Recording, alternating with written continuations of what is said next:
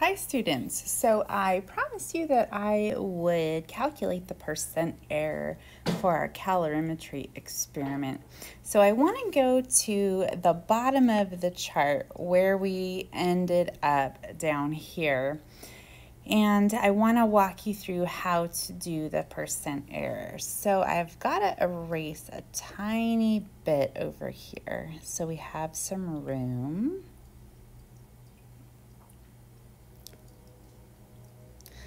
So for that value, for the specific heat of your coins, and remember I did a piece of metal, so I crossed out coins and I put metal.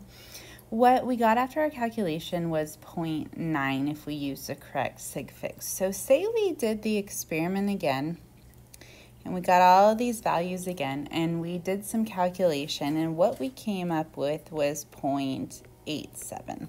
Now 0.9 and 0.87 are pretty close, so those look like good values. If you got something like 0.9 and 0.45, things that are like completely off, then you might want to do the experiment again.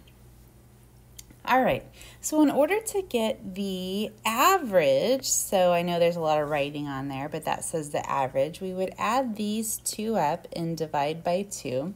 And what we would get here for our phony experiment is 0.89.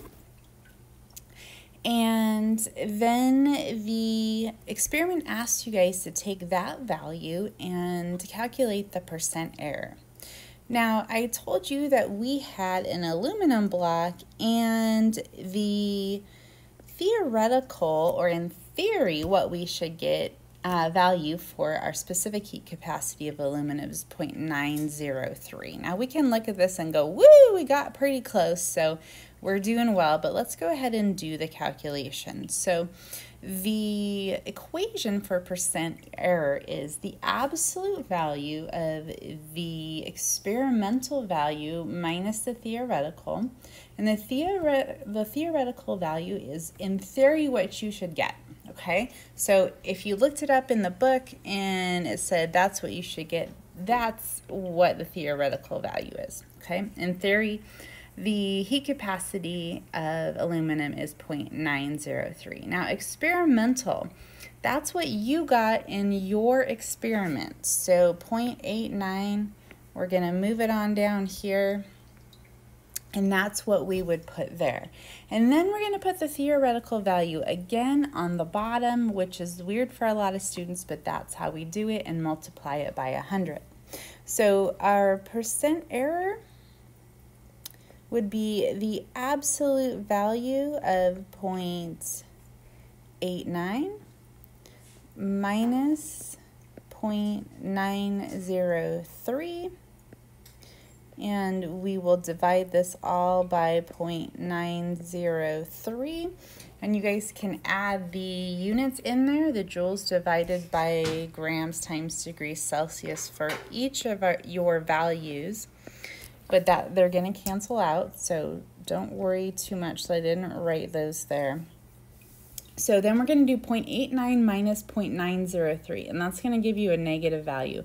But that's okay because anything that's in the absolute value bars, these things right here, comes out positive on the other side. So sometimes if you go online and you look up the equation for percent error, it'll have these two values switched around, but it doesn't matter as long as you have the absolute value bars there because 3 minus 5 gives you negative 2, and 5 minus 3 gives you positive 2, but if both of those answers are between absolute value bars, they both come out as um, positive 2. Now, when we do this math, what we're going to get is we're going to get 1.4% error. And yay, that's really good. Now, I don't want to see any negative numbers for your percent error because everything that's in here should come out positive and these values down here are not going to be negative. Also, you don't need to have negative and positive percent errors because whether you're positive 2% off or negative 2% off, you're still 2% in error either way. So give a positive value for this. And that, my friends, is how we calculate percent error. Obviously, you will have your own values because you're doing a coin. And where you guys will find your theoretical specific heat capacities is not in a chart like this. It is in the procedure for this experiment and it'll tell you for pennies or nickels or dimes what the specific heat on that should be. So go ahead and find it. It's the bottom line on the procedure portion. I hope this helps and I'll see you in the next video. Bye-bye.